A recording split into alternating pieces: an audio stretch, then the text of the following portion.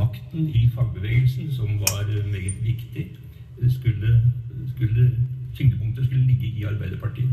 Derfor var det viktig å avsløre hvem som var kommunister, eh, og stigmatisere dem. Og hindre dem at de kom inn i posisjoner som klubbformenn, fagforeningsledere eh, og ikke minst valgt til eh, landsmøter og den slags ting.